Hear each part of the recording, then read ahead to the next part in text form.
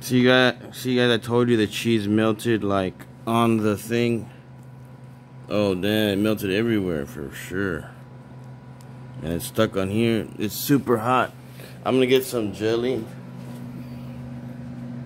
Cause the jelly will cool it off and it tastes good with the jelly too. It's stuck right here on this piece. Damn, it's hot, huh?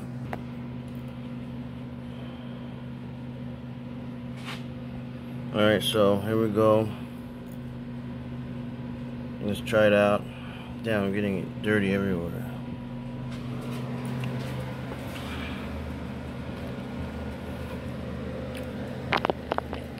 Mmm. Mm-hmm. That's really good.